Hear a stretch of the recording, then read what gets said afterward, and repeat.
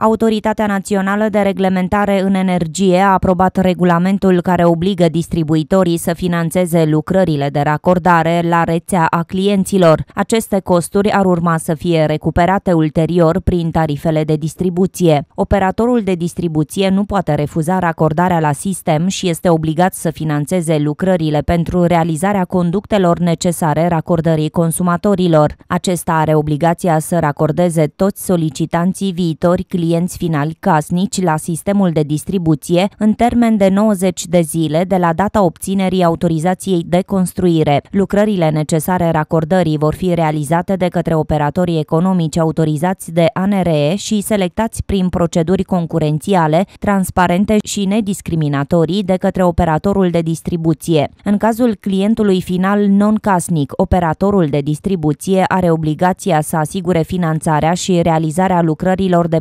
proiectare și execuție a instalației de extindere și branșare până la 2500 de metri. În situația în care instalația este mai mare de 2,5 km, operatorul este obligat să execute lucrarea, urmând ca instalația de racordare să fie finanțată de clientul final. Solicitantul are obligația să utilizeze locul de consum și să păstreze destinația acestuia pe o perioadă de 5 ani de la data punerii în funcțiune a instalației de racordare. Pentru că prevederile legii numărul 155 pe 2020 au intrat în vigoare la data de 30 iulie, tarifele de racordare încasate de către operatorii de distribuție ulterior acestei date, în situația în care nu există un contract de racordare semnat, se vor returna în termen de 30 de zile de la data publicării în monitorul oficial al prezentului ordin de aprobare al regulamentului. Cererile de racordare depuse anterior datei de 30 iulie își mențin valabilitatea fără a putea fi prelungite. Noul regulament permite accesul la gaze naturale unui număr sporit de utilizatori și în același timp vine în sprijinul viitorilor clienți finali casnici cu venituri reduse.